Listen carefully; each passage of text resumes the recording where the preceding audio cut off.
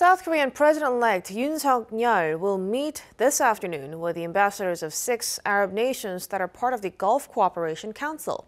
Yoon's spokesperson Kim Eun-hye said that he will meet the ambassadors of Kuwait, Oman, Qatar, Bahrain, Saudi Arabia, and the UAE, which together account for more than half of the South Korea's oil imports.